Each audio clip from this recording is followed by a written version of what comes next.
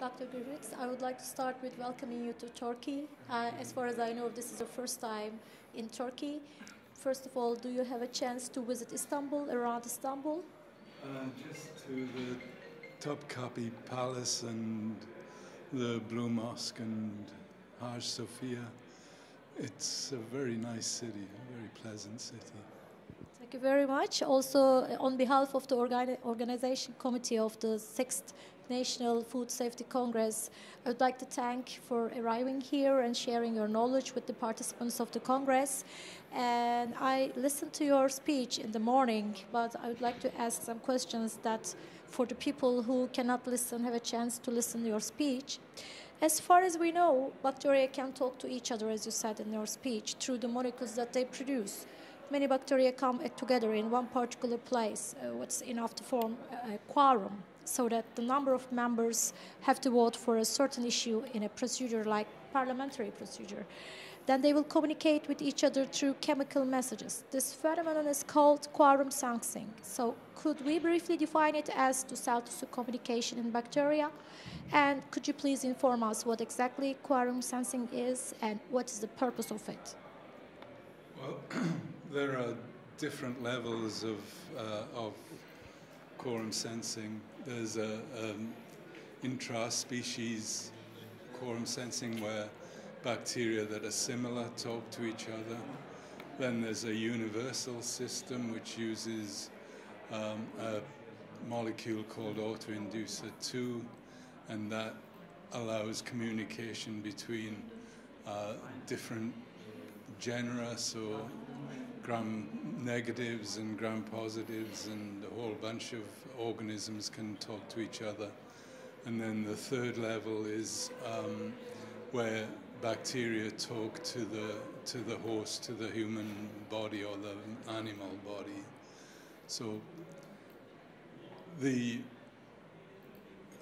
quorum sensing controls a number of uh, physiological events. It controls uh, virulence, it controls biofilm formation uh, in certain organisms, it controls sporulation and germination. So it, it is really uh, underlies uh, uh, the, the physiology of, of bacterial cells.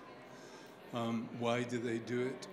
Well, pathogenic bacteria do it primarily to avoid the host defenses. So if they can start triggering uh, harmful events when there's a large number of cells present, they have uh, a greater chance of overcoming the, uh, the host immune system.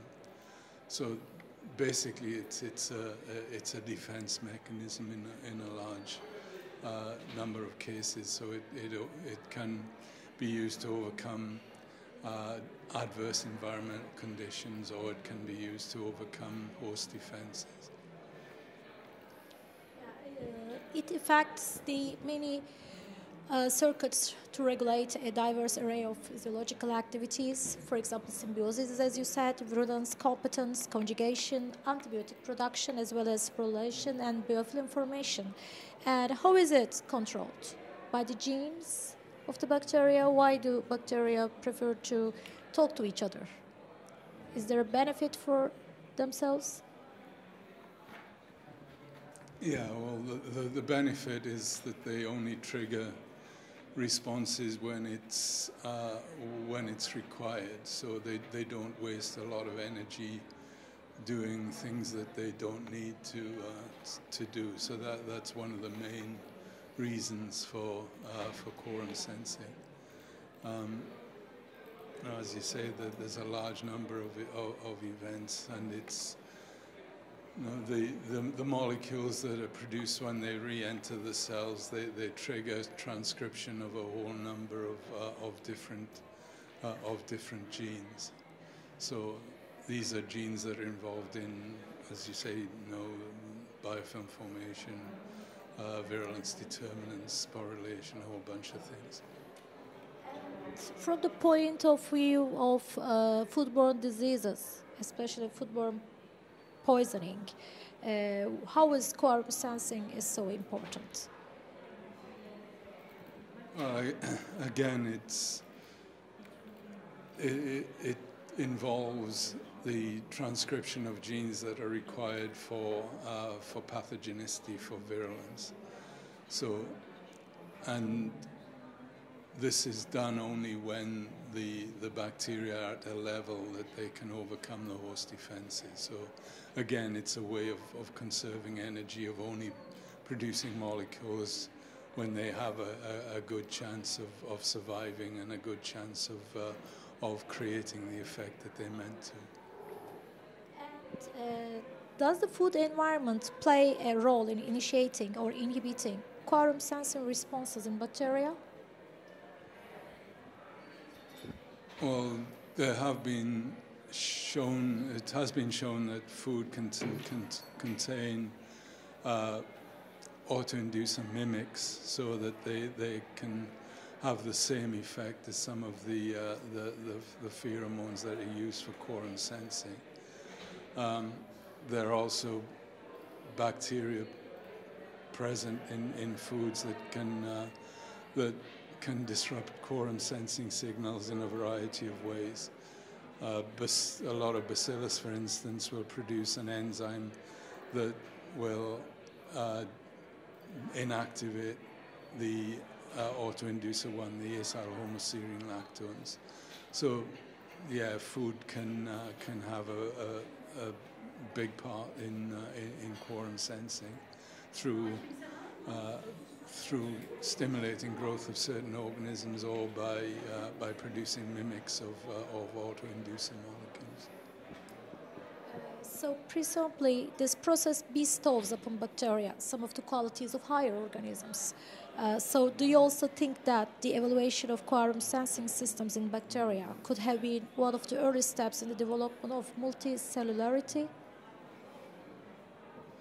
Well, yeah, again, you know, this business about communities and biofilm formation and the, the communication of cells within biofilms. So that helps uh, maintain populations, maintain communities of, of bacterial cells. Um, and as I said in my talk, there's now also evidence that, uh, that viruses can, uh, can communicate with, with their hosts. So it, it seems to be a, you know, a, a, a common thread throughout the, uh, throughout the living world that, that cells communicate with each other. Other than quorum sensing, lots of rapid microbiological analysis techniques are developed and still developing. Uh, do you think that they will they have more advantages and they will replace truly the golden standard cultural techniques in the future because we still need to compare the uh, results and to compare the methods efficiency sensitivity and selectivity uh, of the new methods with the golden standards like cultural techniques. Do you think they will replace and we will forget the cultural techniques in the future in microbial analysis well in a lot of situations we can't use cultural techniques because the organisms don't won't uh, grow under the conditions that, that, that we use. So um, I mentioned you know, the, the gut microbiome and that a lot of the work on the, the gut microbiome is mainly centered on, uh, you know, on uh, whole genome sequencing and uh, the, the genetic makeup of the, uh, of, of the population in the gut, not the ability to, to culture organisms. Um, but no, when we come to epidemiology, I think that there's still a requirement for an isolate, for a, a, a single source of the, uh, of the organism. So it, it, depends on the situation. You know, in some situations, you'll, you'll, need a, uh, you'll need to culture the organism. In other situations, uh, the, there is no need to, to culture the organism. You came uh, here uh, by traveling for a, for a far distance. I don't want to make you tired. That's why I will ask you the last question. Uh, what is the most risky uh, situation that threatens food safety, in your opinion? The pesticides, the residues, the microorganisms, uh, the human beings? well, again, um, in, in the short term, obviously, uh, microorganisms, um, no, and the, the, the, causes of foodborne illness have, uh, have evolved over the, the past several decades. So now, certainly in North America, the, the main cause of, of foodborne illness is, uh, uh, is fruit, uh, fruits and vegetables. Um, and also, the, the most number of cases of foodborne illness are caused by viruses, not, not bacteria, although still the, the deaths caused by bacteria outweigh deaths caused by viruses. But know, we, we, are seeing a, a, a, transformation to foods that, that are difficult to, to decontaminate, if you, if you like, and to, uh, to organisms that you know, we, we can't necessarily culture. Um, no, the norovirus, we can't culture norovirus. Um, so there's certainly an evolution of, of, of, food safety and it continues to, to evolve. As regards chemicals, um, yeah, no, in the, in the long term there, there may be uh, adverse consequences.